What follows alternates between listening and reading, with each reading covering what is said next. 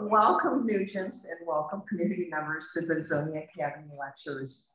Uh, for those of you who've not been to our lectures before, the background on our lectures is our community founders. Back in 1863, the Benzonia Academy was created by our founders. And it was going to be a Northern Michigan educational mecca uh, for people to have received a liberal education regardless of race or sex.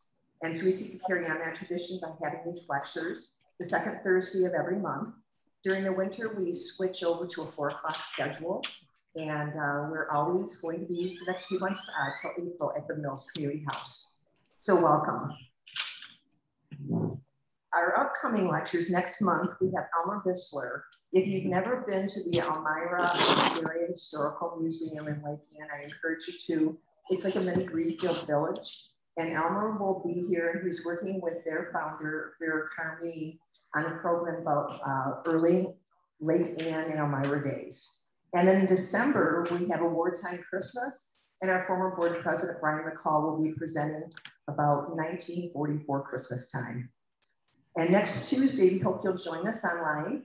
We're collaborating with the Library of Michigan, the Leelanau County Historic Preservation Society, and the Leelanau Historical Society and we're offering a virtual program on Michigan's county poor farms. And so if you go on our website, you can learn about that. And now I'm going to welcome our curator, Jane Purkis. Um, she is going to talk, with this being an agricultural presentation, um, she is seeking some support from our local farmers. Hi, everybody. Um, the Historical Society has been collecting farm implements um, for 52 years. Uh, that's how long we've been in existence. And a lot of the stuff I have no clue what it is. I have really no clue. Yeah, and so I'm hoping that some of the farmers in the audience um, might be able to come over to the museum and help me. And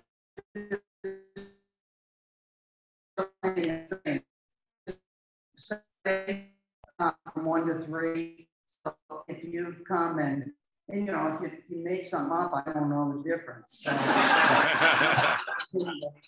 um, we are, about 20 years ago, we built a pavilion um, down the alley below the museum and it just has not been successful in, in its in the current form. And so we've enclosed it to sort of like a barn. And so it'll have a lot of farm equipment and um, that kind of stuff in it. And also at the Drake School, our one room school that's in Platte Township, there's a shed behind the school. And every child that went to that school lived on a farm, either as farm labor or farm owners. And we're putting some subsistence farming, a lot to do with um, dairy, into that shed.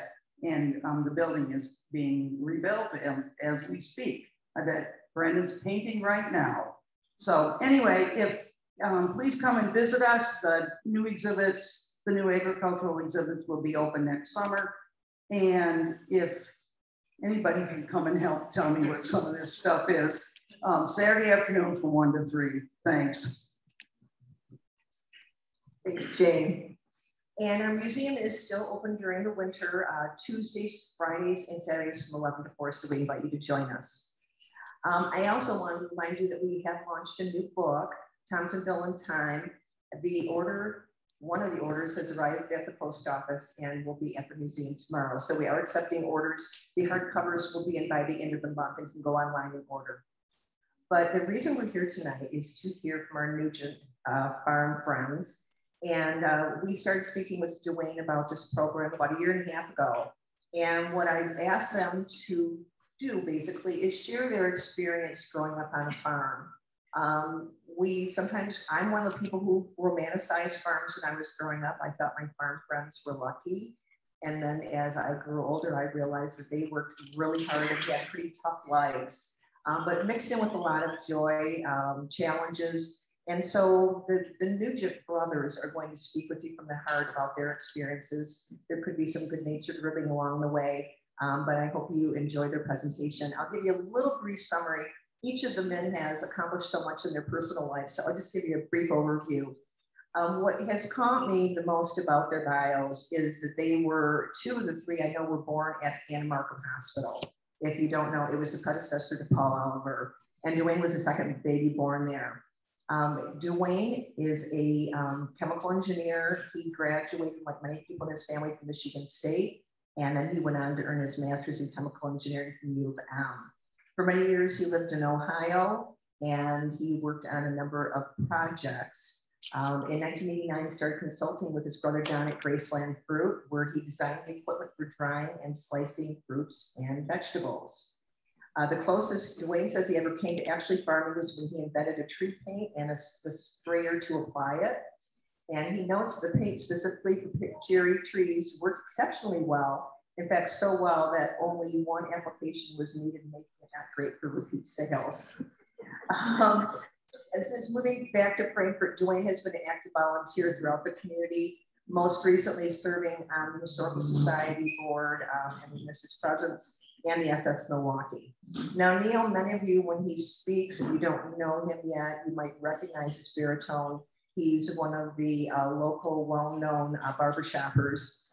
And he also owned, uh, along with his wife, Linda, New Japanese Hardware for over 31 or 35 years.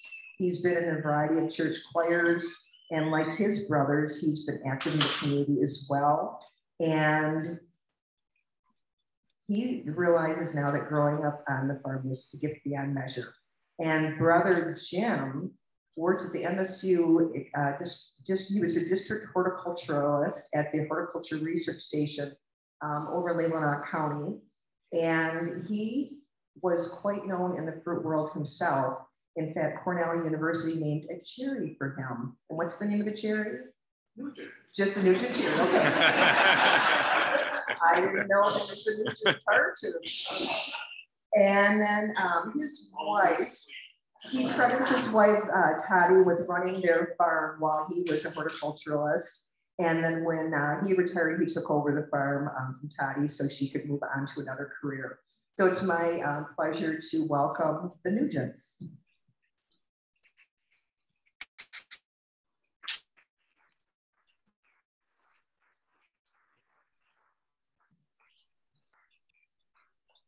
Okay, good, thanks. Um, can you hear me okay?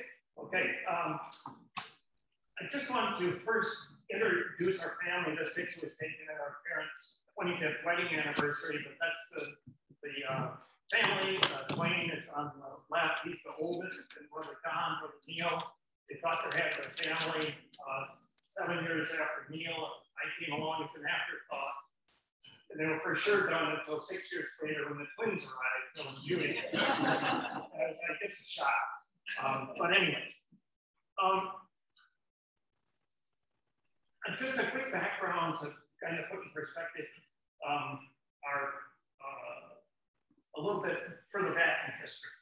But in, my grandfather, Nugent, my dad's father, Wesley, was born in 1861 in Canada immigrated into the United States, probably through the Soo, because he ended up in, uh, uh, working in a logging mill up in uh, Newberry, where he met Mary Burns, who would become my grandmother. She was the cook um, in the logging camp. And um, so they started out their career up there. They, they moved down here. That was, they got married in the 1880s um, and the first couple of kids up there, but moved down Benzie County to the Case Mill uh, on Case Road. I was living on Homestead Road. okay, so we'll swing it around. Avoid swinging there, that works. Um, they, uh, and from there, they bought 120 acres of pretty low country, uh, low ground on uh, Cook Road, wooded ground that they homesteaded. Um, by 1894, they had a uh, barn raising and a house raising where they built a log house and a log barn. And that's where um, they lived. Several more children were born until uh, 1904. Um, Jim Crawford was the county sheriff and owned a nice farm on Crawford Road. He died, unfortunately, with a uh, heart attack. Um, and grandpa bought um, uh, the farm from Jim Crawford. So they moved um, the, the, down at the old place, they just, uh, that was pretty much just cattle ground. It wasn't good for fruit. But general farming um, was the norm then. And they uh, would move to this farm. One interesting story is when they were in those early years in Benzie County, um, in the winter after they had the farm, Grandpa would take his team of horses and go up to the UP, Southern UP, to uh, work in the logging mill in winter, logging camps. Um, you could get paid extra if you had a team of horses. And late in the winter, though, if you needed to get back across the straits, well, there's still ice to get across uh, the straits. But the the mill owner would pay, or the loggers would pay a bonus. It's later. And one year, Grandpa kind of stretched that. He got back to the straits. He's coming across with a team of horses, and there's open water. And he, so he has to walk down until the ice finally comes together on this fissure that got close enough that the team would get over it and came back down. Um, I can't imagine me doing that, but uh, Grandpa did. So this is a family who ended up, there was, um, Grandma gave birth to 18, but 13 lived through infancy, 10 boys and three girls. And eight of those 10 boys settled in Benzie, or, or Manistee counties. So that's kind of why the Nugent name is so common when you have that many boys. Um, uh, four of those boys went into World War One and were able to return. So very fortunate on that.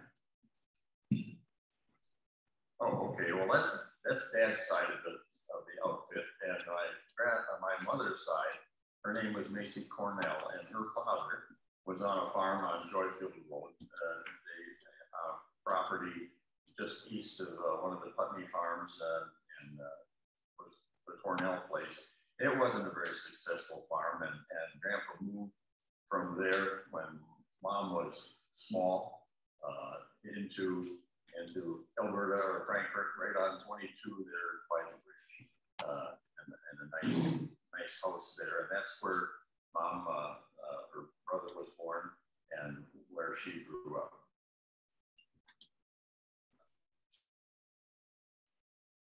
This yeah, this was taken uh, not late.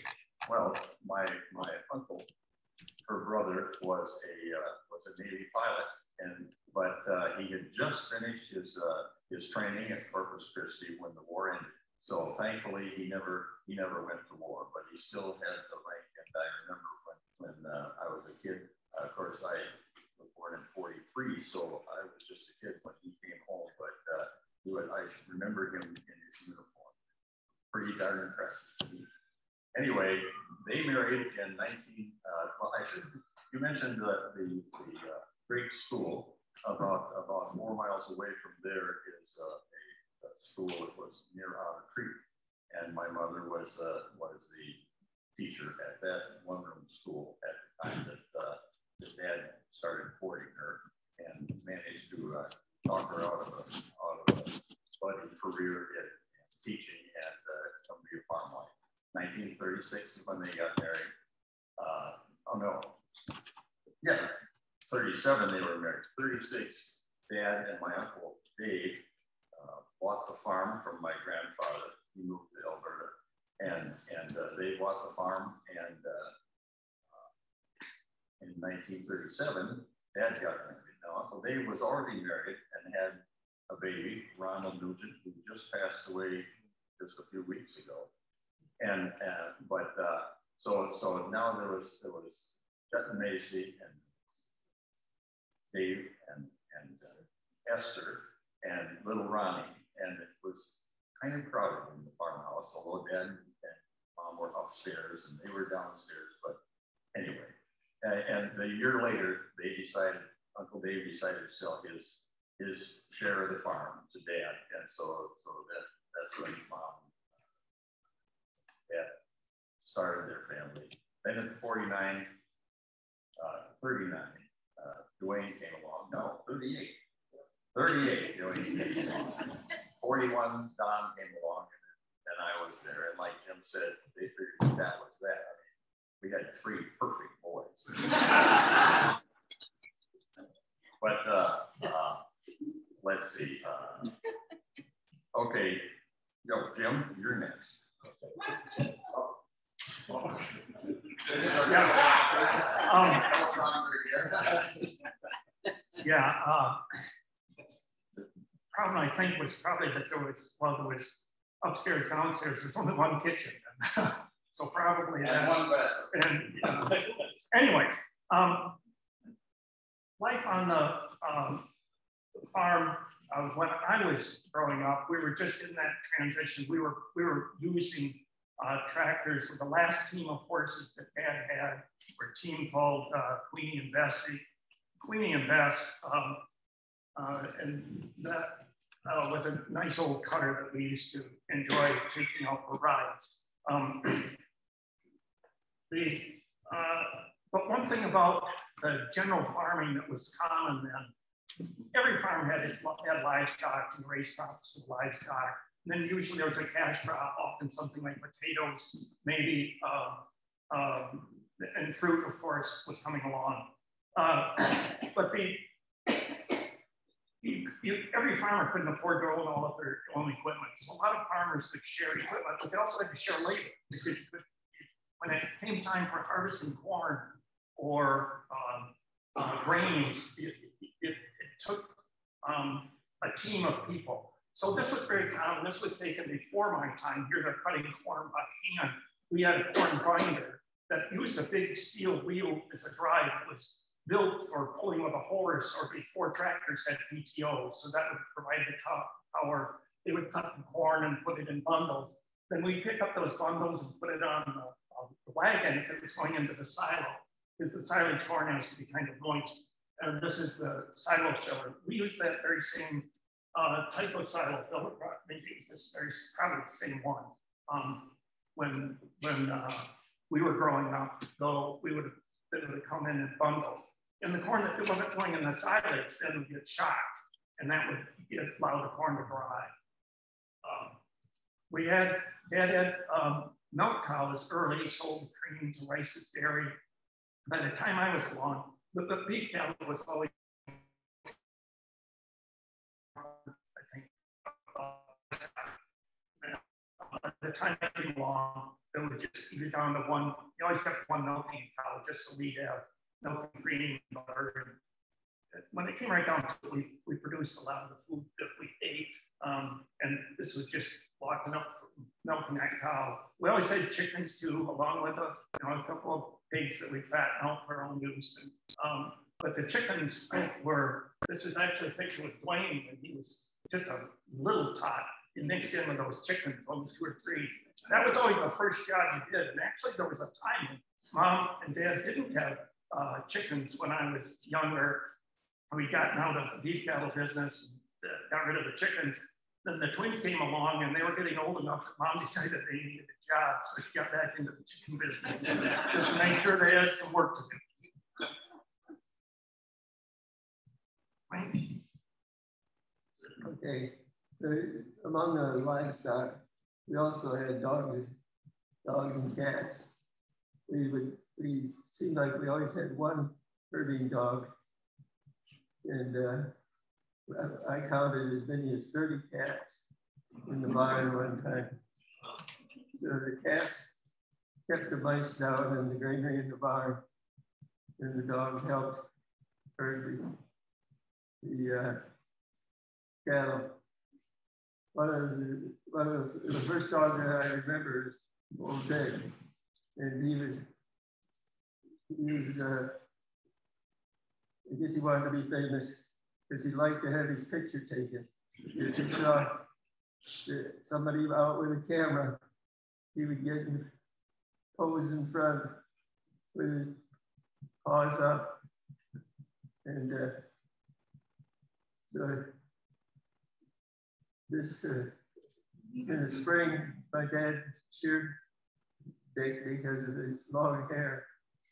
And after he'd been sheared, he did not like his picture taken. he would run and hide if he saw him camera. So, had another dog with that was a husky, and he was had a peculiar had, had a, he loved snow, and so in the wintertime he would sleep out in the snowdrift rather than in the barn. guess that's just the way they're bred. You should tell the story about the about the cat with the with the silage. Well, yeah, there's we were milking cows one evening, and uh, one of the cats looked awful sickly. He looked kind of mangy, in fact. And uh, we noticed that she was over by the, where the juice running out of the saddle and uh, eating the juice, drinking from the saddle. Of course, that's fermented. and, uh, so my dad said, son, that should be a lesson. This is what happens with alcohol.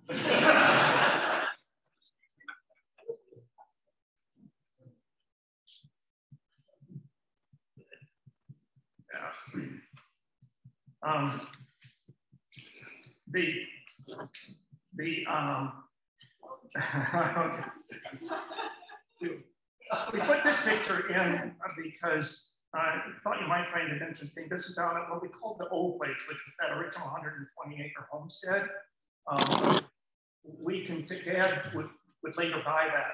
Dad and mom bought that farm from grandpa uh, later in the, uh, then they bought the um, first farm. But anyways, the one, the old log barn is still standing, but the building behind it, the, the shed, that was an old horse uh, stable at the Blaine Church.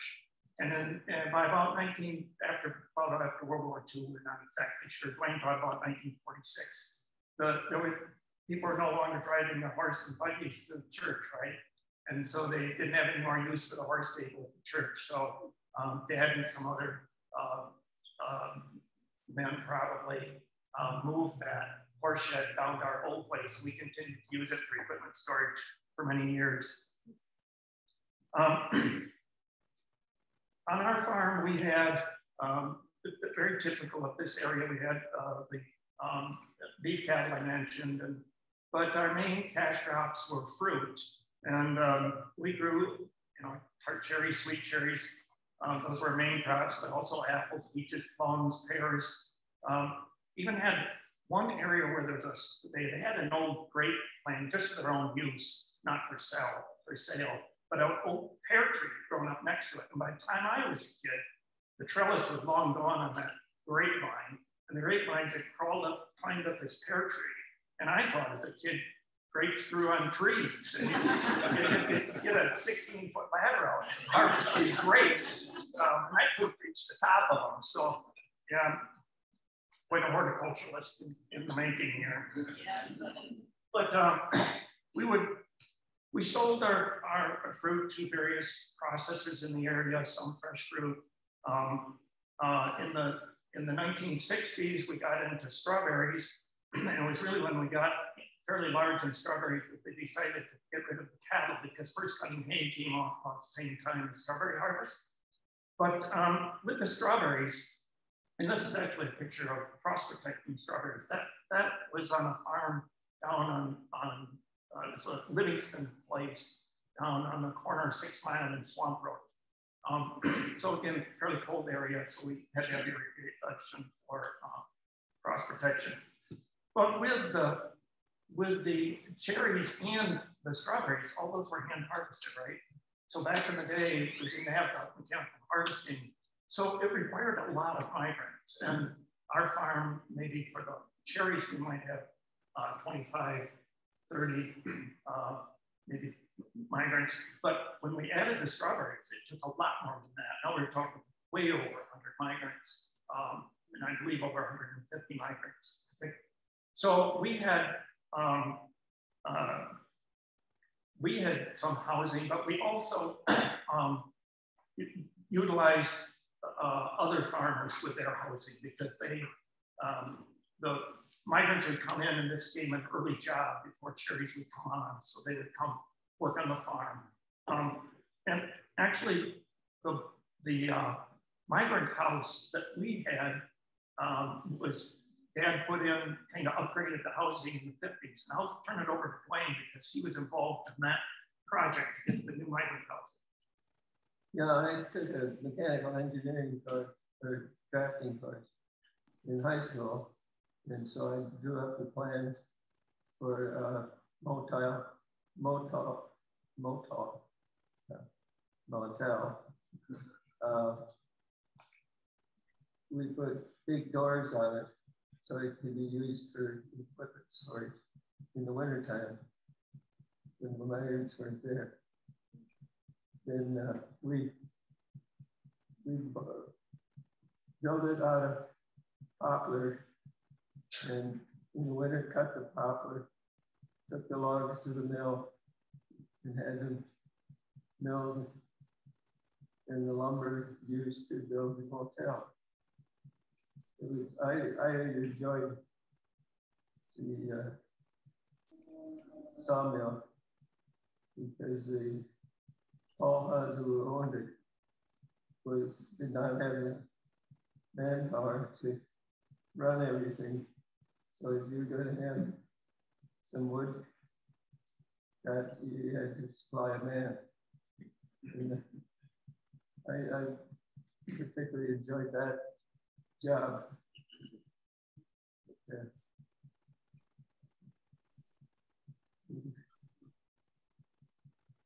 You know, we all really enjoyed that job. Uh, going down into that water powered sawmill and seeing the wood cog gears that ran at the, in the wheel and the belts. That, that was a, a, treat and a half that we all looked forward to. And the whole building would shake when that baby was running. you would feel vibration everywhere.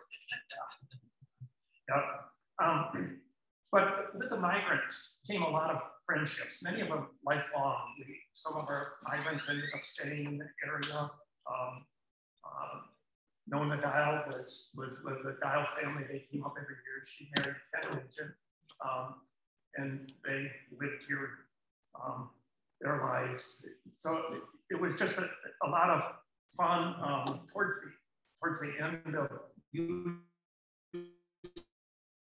um, our team, our migrants were um, white families from the South. But one of the families uh, that came up had to start driving two cars because they had two speedboats that they had to pull up. They couldn't pull up behind one car. And after, when we'd be, uh, I didn't have to haul in the last load of cherries, um, to get dad or my older brothers to do it. They would uh, help me sometimes pick up the last uh, lugs of cherries so they could, so I could go down with them water skiing on Lake. We didn't have a boat for water skiing, so it was, it was, but some lifelong friends. But with that, um, that kind of came to an end in the, in the late 60s as we transitioned into mechanical harvesting. And that was a huge shift um, for the farm.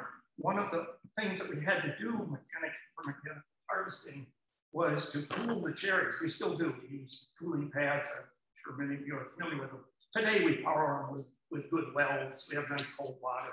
But back in the day, our well was way too small and some of the other farms were.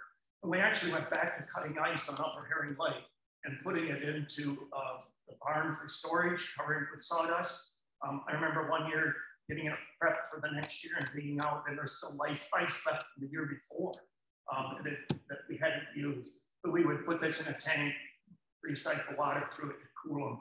Um, we only did that for maybe three years or so, but it was, was kind of an interesting process. Um, and of course, that had been done for years and years and years, way back when they used ice to put in ice houses um, before the days of refrigeration. Um, upper Herring Lake, we would have seen this. You wouldn't have seen the tractors out there with ice out, but um, uh, it would have been very similar. All right. Yeah. Okay. Uh, with as it became more and more mechanized, we had lots of lots of equipment. Otherwise, farmers equipment and and uh, stuff breaking and so on.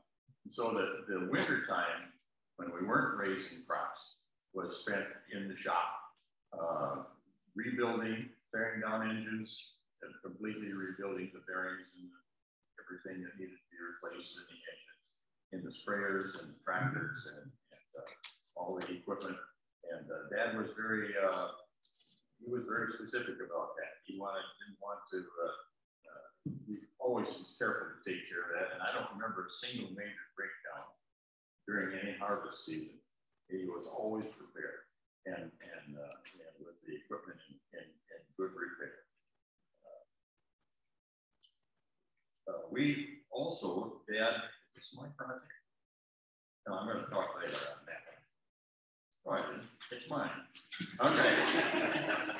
that was also a very inventive guy, and and uh, and he invented a, a uh, buzz that would go onto the three-point hitch of a tractor, so you can drive around with it without trailering. Uh, in the early days, he invented a buzz uh, drag saw first, and then converted it to a buzz that was run by the uh, engine of Grandpa's first car, 1914 Model T. And, and Dad designed and built a flyball governor for that for that uh, motor, so that so that when it was not under load, it would be idling, and as soon as it started feeling a load, just like you would press down on your accelerator, this would accelerate and and uh, carry the the saw through the log, and then relax the speed of the engine. It was a pretty nifty little uh, gadget that he made. But he designed and built a, uh, a large rake that was used to, to uh, in the winter, we also pruned, uh, that was the time to prune the, trees and, and the, the, the cuttings would be raked out into the middle of a row. And Dad designed a big rake that was about eight feet wide with long tongs that were about eight or 10 feet long. And, and uh, all built out of wood, by the way. And, and we like to work with wood, all hardwood. And, and uh, this would on the, on the, the tractor. I think we have a picture of that. Yeah. Anyway, it was, uh, he, he, he was very inventive and he was a problem solver. But uh, we, that was all part of, uh, part of living there. I had uh, my kid that lived not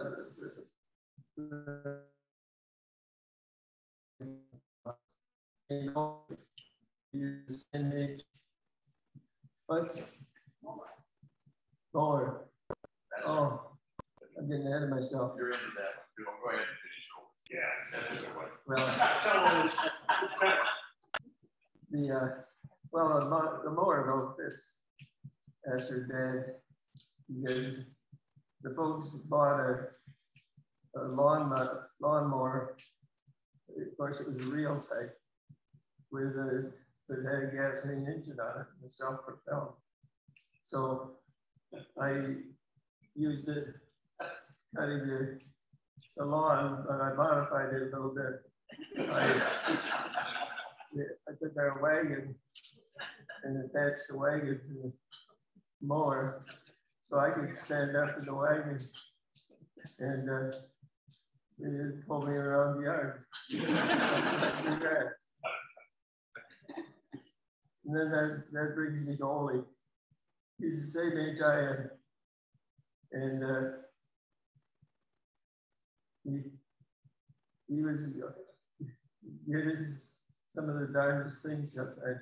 He didn't have a mother. So he got, I don't know where he got to come up with stuff. One day he came over to our house driving an old car. He wasn't old enough to drive, but uh, he, he, he was towing behind the car, this coaster. It was just a plank, wooden plank with four wheels, uh, wheels on it. And uh, anyway, he, he got a hold of these wheels that was really good coaster bearings and uh, wanted to go down to Nick Road where the, there's a hill and try it out. So I, I hopped the car with him. We headed down there. When Pulling out the other driveway and headed down the road with this coaster bound around along behind the car on a rope. So uh, Dad made it down there before we, we left, he wouldn't let me ride on it. He said that only could ride it. And so the deal was only ride it first. And it worked all right. And uh, I could ride it. Well, the, the wheels were so darn good. he, he took off because he's laying down on it. And uh, it was a it was a little temperamental to, to steer, but uh, we followed Ole in, in the car and Dad was up to 50 miles an hour. and he, he, he coasted down Mick Road almost to uh,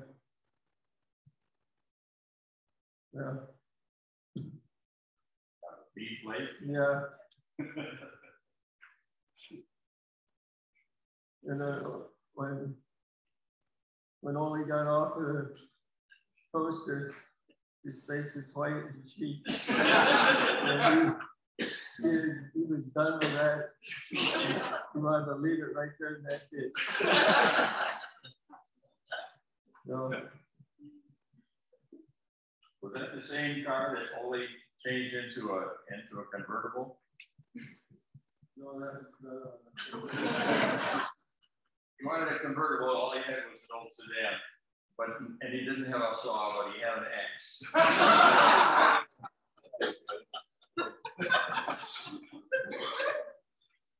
yeah, there's a lot of old stories.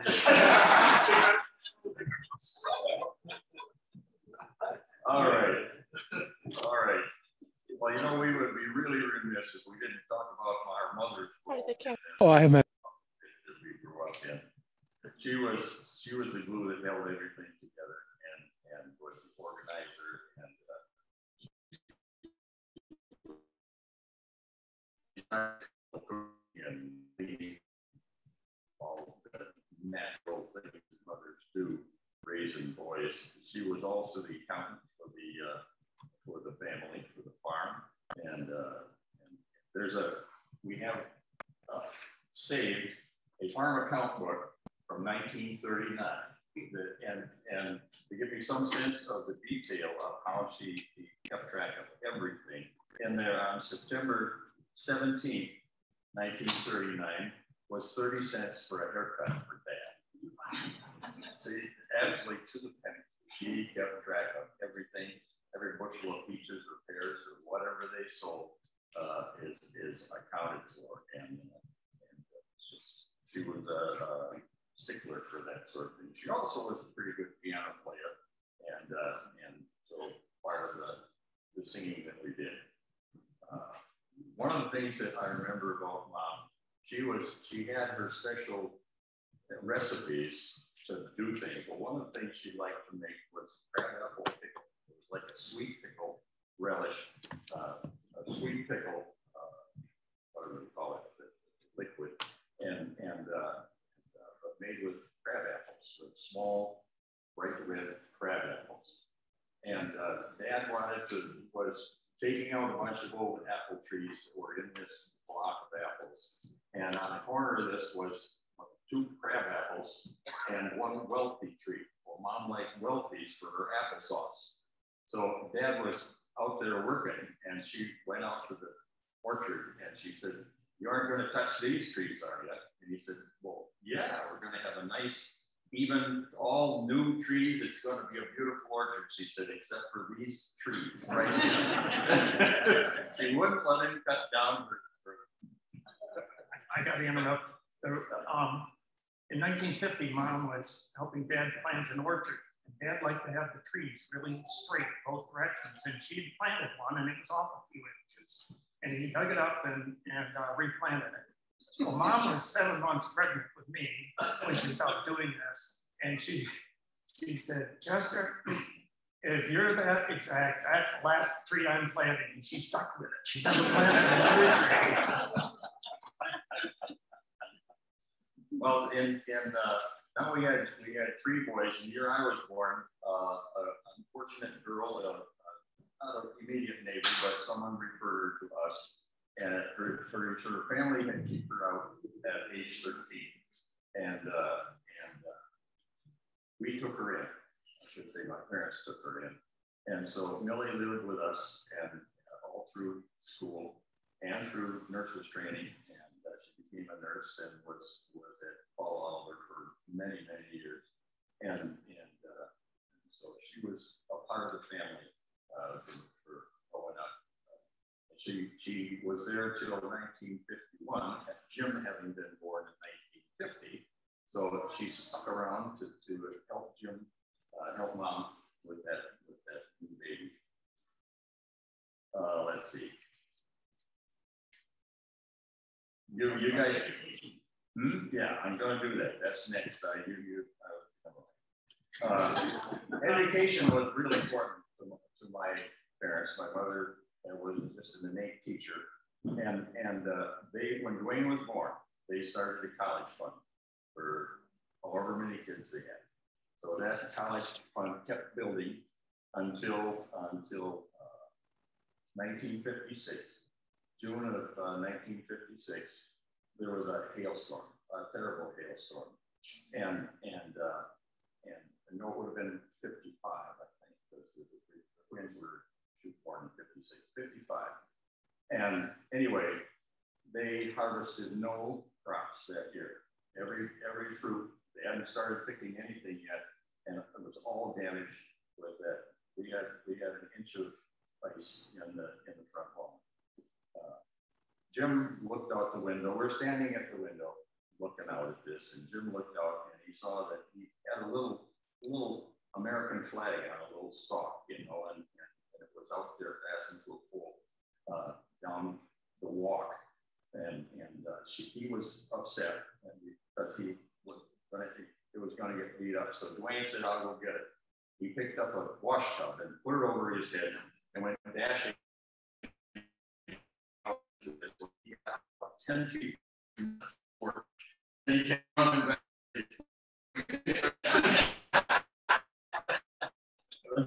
the flag had on its own. but uh, we wound up all, they stuck uh, to their guns and said, okay, all you kids have to go to college. You have to all. And it was never a question. We're not going to go. We were going to go. And Duane started in 56 by the way, the same year that the twins were born.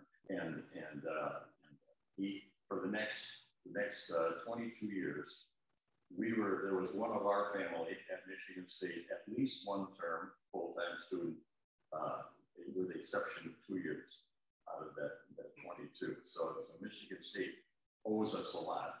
but I have to say, Brother Don went on to be very successful. He's the one who bought our farm, or bought in with and, and later uh, uh, went on to, he was a, he was a marketer par excellence, and he went on to uh, develop Graceland Fruit as a fruit processing co-op and later developed the drying operations that you all know. And, uh, and so uh, he, he certainly put his education to work, as did all the rest of these guys except for Dion. got into business and thought it was kind of fun. So I, but uh, that was that. That was the moment that I said, "I'm never going to be a farmer," because I'm standing there, we're looking out, and I was 12 or 13, and and and uh, mom is holding dad, and they're crying, and uh, and I just said to myself, "I'm never going to do this. This is I can't." you know, and and uh, that was that was just uh, that was just the decision I made at that moment. So, didn't know what I was going to do, but I knew I wasn't going to be a farmer. You want to inter interject here? Uh... Well, yeah. In my senior year of high school, I was in FFA, and uh, I had three I had a field of corn, a heifer, and a pig that the FFA gave me to raise and breed with the, that I give back two pigs to the, to the farm. So things, things didn't work out as well as I'd hoped. The uh, cattle got into the corn And uh, the heifer, when she had a calf, something went wrong. So she could never have a calf again. And the pig, oh, she came from a big litters, she only had four pigs. And one was a rug. and she laid on another one. and I had to give the last two back to the farm. So I decided engineering was a lot more attractive.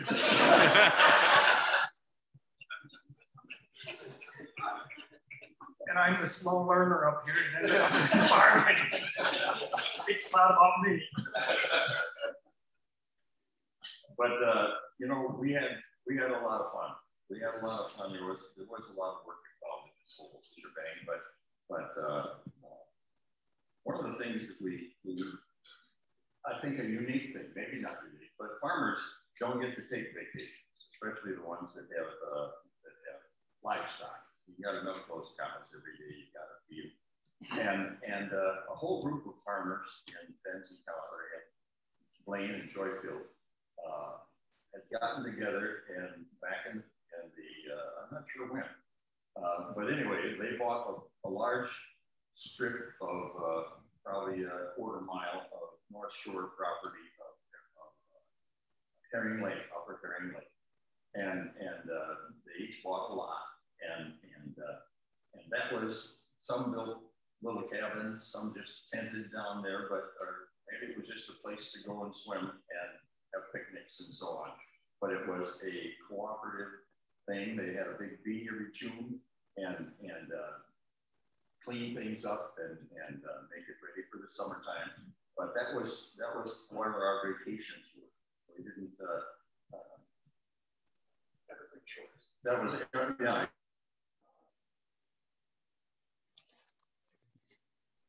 North you'll see this association. It's still there, and it's still maybe 50% of it is still owned by farm families. Uh, our our big, our big uh, family, that is dad's family, all got together at Christmas time, had a big Christmas, and, and at the 50th anniversary of all of, uh, of our kid, of uh, each of dad's brothers and sisters as they, they, they had a 50th birthday, 50th birthday. And this is a picture. We also had a, at a uh, summer picnic at Evergreen Shores, usually at Evergreen Shores, or sometimes halfway so they called halfway picnics down Clare, which was all the folks that were living downstate, the family would come up and, and be with us. So there, there would be, those were big affairs. There would be uh, 60, 80, 100 people at those things. And then, and then they, the big family had a get together every,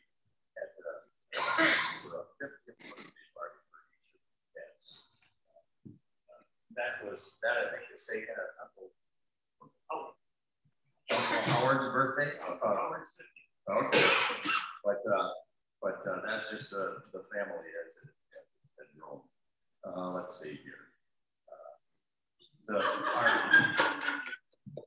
our Nugent family, we would get together. That, I think that might have been at a, uh, at a Christmas at a Christmas party. We got together and we always sang and had fun and and uh, and, and Uncle Bill would come and uh, be the Santa Claus for us and uh, he was a very interesting Santa. There's, there are stories to tell, but we won't. And, and uh, anyway, uh, uh, let's see. That, that was, uh, you know, we, we just had a lot of uh, fun things that we did. Mom, there was a picture yeah, but and on Sundays we often go visiting uh, relatives, grandmas, uh, Cornells, and and uh, or uh, other aunts and uncles, and uh, dinners. And then at grandma and grandpa's, we always had a sing after Sunday dinner. they were singers, and I guess that's where I got my oh uh, countdown to 10 minutes, she said, hold them up so that people can see. All right, but uh, that was uh, it was a great place. It was a great place to, to grow up. I think this is the car we owned when we took a, a, a big trip for us was going to Muskegon or to Detroit area or to uh, uh, Manistee to visit relatives. And when one trip up to visit our relatives in Manistee, um, turns out we had dad had bought, mom bought a new car, and it was the same as the, the Kingwood's car.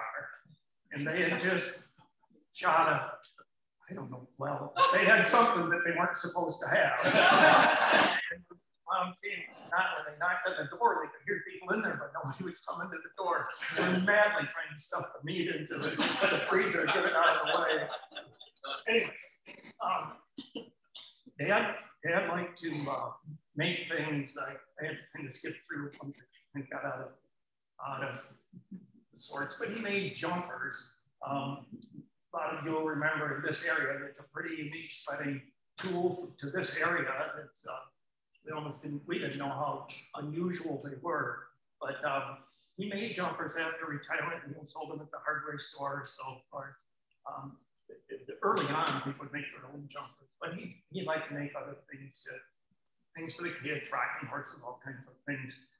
for every newborn. Yeah, especially when he got uh, kind of retiring from the farm. But we had lots of fun. um, one thing that, uh, that I always enjoyed on the farm this shows a sleigh, but it doesn't, it shows most of the deck off. This is actually a picture of plane and, and the Meads going, going uh, over to the one room school. But they would, the, those sleighs had a deck like a, like a hay wagon. We had three of them. And Dad would uh, host groups for sleigh rides. It might be a 4 H group or a church youth group. Uh, and it wasn't just our church, it was others in the community. We had, um, we had three sleighs.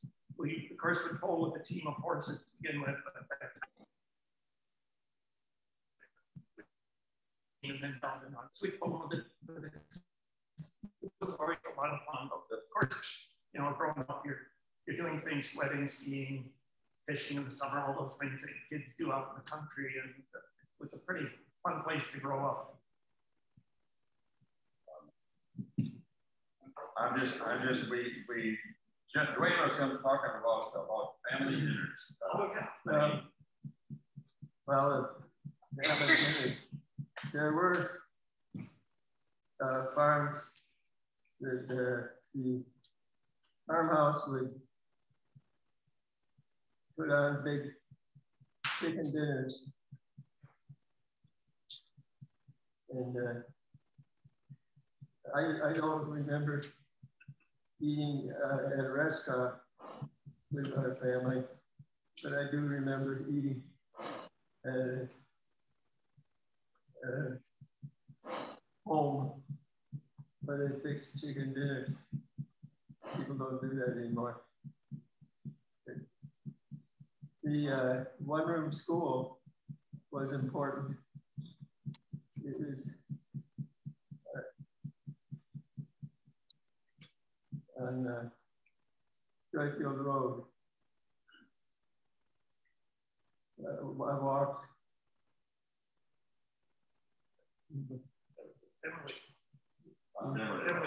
Emily Road, yeah. Yeah, have to speed her up there. Okay. but uh, when uh, walking to from the school, I got to play along the way. Of course, I went there kindergarten through third grade. And then the school was consolidated with Benzonia. And the rest of my schooling was done in Benzonia.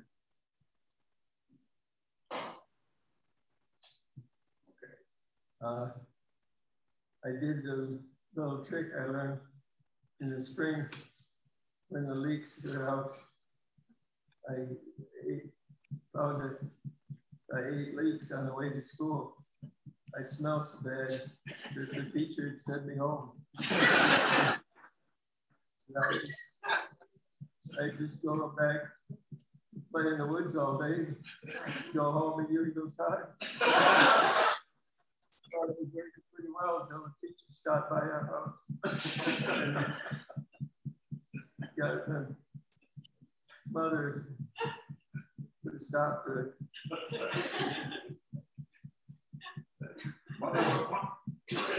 I got to tell one quick story before we wrap up. But my dad told he and Uncle Dave when they were growing up on the farm um, um, were had fun by picking up the chicken and kind of swinging it around and getting dizzy and watching it stagger around. And one time they, swung a little too much and the chicken flopped over and they're afraid it was dying and they were in big trouble. So they went and got an air pump, you know, air pump, and put it in, in the chicken's mouth and started pumping it up. Uh, it didn't fare so well.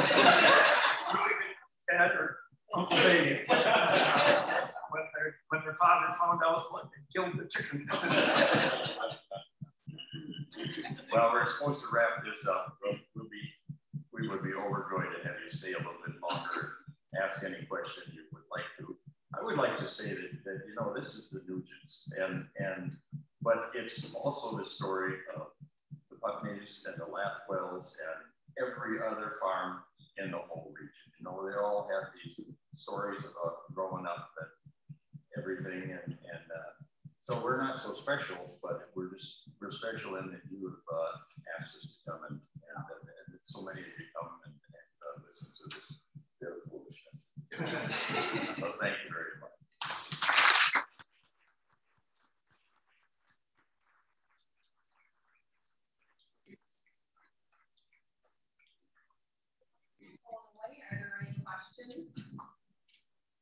What, what was the deal about uh, an easy chair that everyone got presented with for what?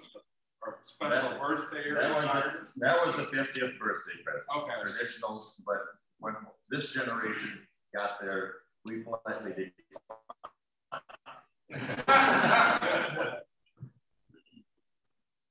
well, I, I, just have a comment. I'm a Smeltzer. Percy J was my name. But what I remember is the Nugents were way more fun than Smeltzers.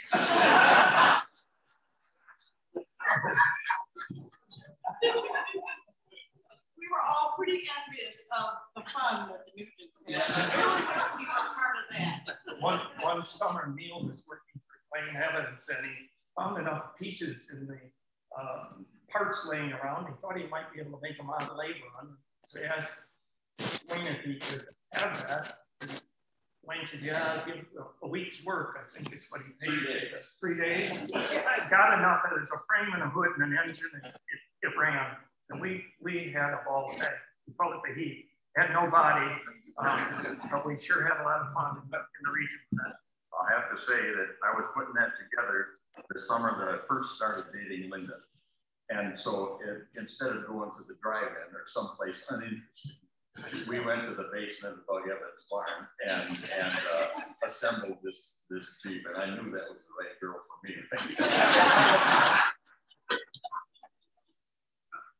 I don't know how many. Oh, go ahead. Does have a question?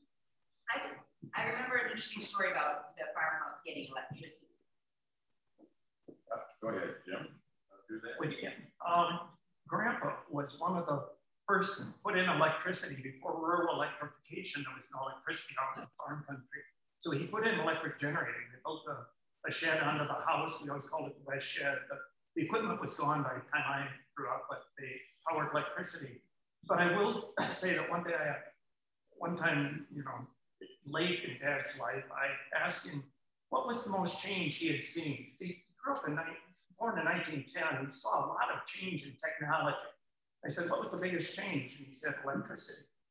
And I said, I am surprised. I thought it would be tractors and transitioning from horses to, to tractors.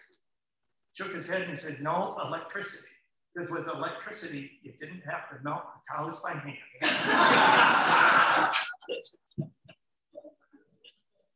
uh, one question. Speak about your dad, you know, his aging, uh, you know, when he could see well and his musical I just remember when to be part of that group down on Friday nights in Frankfort. Yeah, that, that was when Dad was a fiddler. He learned, taught himself to play back in the 30s, and he played for a lot of the country dances, the square dances. And uh, two of my uncles, his brothers, were callers. And, uh, and Dorothy Rice, uh, we all know Dorothy Rice, most of us do, was the piano player, and they they were active as a as a little uh, you know get-togethers, barn dances, and whatnot. But but uh, and Dad loved to play that too. But but he had injured his shoulder, and and know, a young man, and finally when he got into his late seventies, uh, the bursitis got it so bad that he couldn't he couldn't hold it, couldn't work it right. So he couldn't do the. So then he picked up a harmonica, which he never played before, and and uh, joined up with a bunch of harmonica guys called the harmonica hobos, and they they were back in business, you know. he, he just loved music. He, he uh, as a matter of fact, if I may, when when he was milking the cows, but back when the hand milking days, and he would he would be milking this cow, and his favorite cow's name was Daisy. And so if you got a picture this, he's underneath the cow and he's milking the, and he's making tempo with squirts, you know, squirt, squirt, squirt, squirt. Daisy, Daisy, your milk we do. That works for the whole first verse. Yeah. but uh, but uh, he was a he could he was a good singer and could sing, but he never I never heard him sing in a choir or anything like that. Just didn't do that. A little bit like Duane is. He can sing just fine, but he chooses not to. Well, one thing for Dad is he couldn't read a note of music. So it always, he always felt quite self-conscious when the band teacher would be there and he'd be playing the fiddle because he couldn't read music. So that's one reason. Yeah. Like, yeah. mom could read music and sit down at the piano and play. And so when we come home from church on Sunday, we would, we would be singing. Oh, yeah. And uh, to, to uh, macular degeneration. And that, that took a lot of the fun out of his life. I mean, he lost by his uh, early 90s, and, and uh, that, that made life tough for him. And uh, he had a, by that time, he built, he was in his uh, late 80s uh, when he, when he built a greenhouse so he could get his garden started earlier and all this. And, and it got to the point very soon that he couldn't tell the difference between a weed and plant, and, and he just uh, it took the fun out of it. Plus all the woodworking, which he was always doing, uh, it, it, was out of the out the window. So that was it was a tough ending for Dad. But then, even into his 80s, was planting pine trees at the old place for reforestation, um, which is just a classic farmer that's always looking ahead, um, knowing that he was never going to harvest those trees. A thousand every year. Wow. Yeah, by hand, one at a time, you know, plunking them in. Anything else? It's interesting. One of the things that the London Schoolhouse kids did for Oh, oh yeah. yeah. Tell us that, Duane.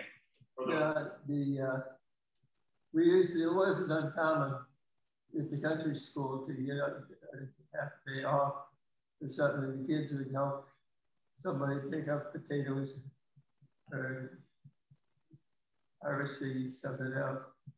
But uh, one of the unusual ones,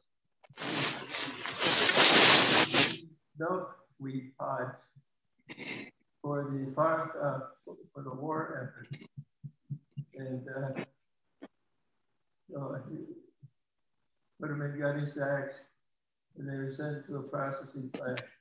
I think it's somewhere north of us. But uh, that, that was interesting. What was that for then? Those were the uh, they couldn't get kapok for uh, life jackets and like this, and so they used milkweeds, you know, the, the fuzzy stuff the yeah. in the pod to use that.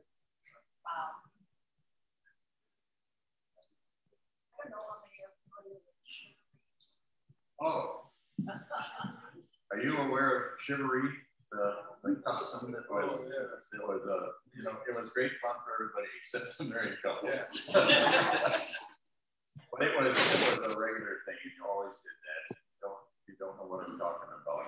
Uh, it, you'd make a lot of noise and wake up the newlyweds, and and uh, and they had to, uh, you know, invite you in, and then they had to, uh, you know, have some treats for you, cookies or cake or something nice, and then you could all go home. But if there was nothing to eat, well, then you were just going to stick around. there is one shivaree that was especially memorable to us. Linda and I and Jim was along. Uh, were when when Jim Bryan Jr. got married, and and he was uh, staying in uh, my aunt's cottage on the Lake, and and we were all there was probably 25 of us, you know, and we were sneaking up. Mary, were you along on that? I, I'm Ann, but yes, I was not along, but I remember the story. anyway, we were sneaking up, and and Harold is in the front, and he's carrying a, a new pump shotgun or hmm? Harold Case. Harold Case, yes, I didn't. It was, uh, and Harold was leading the band here, and he had a pump shotgun, and I had an old muzzle loading musket behind and we were going to kick it off with lots of noise. And then they had lots of bands and pots and horns and stuff. And they were trailing along behind. So Harold is in front, and we're sneaking kind of up toward the cottage. And all of a sudden, he just dropped out of sight with a kind of a sploosh sound. Found out that later that uh, that she'd been having they've been having trouble with the septic system. the septic tank was open. And, Harold was standing in there about chest deep. and he had a full beard and it was full. we woke them up laughing. but but had his only clothes and nobody would let him in, but he went out and took a bath. West side? That was, that was very memorable.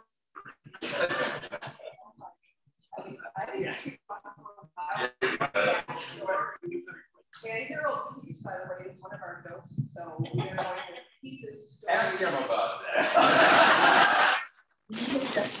ask him about that. But thank you so much, Nugent uh, Brothers, and for representing all the farm families and the contributions of agriculture um, to our community through the years and to many contributions to our culture. But thank you very much for joining us. I'll remind you that we are 501c3 nonprofits. We rely on your donations, especially to support this lecture series. So if you haven't uh, donated yet uh, for our lectures tonight, we appreciate that. Yeah, and we, we hope to see you next month. But thank you so much.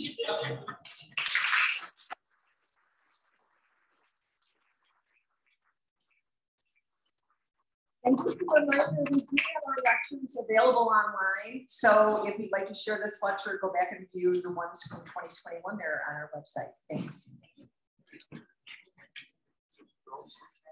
Thanks.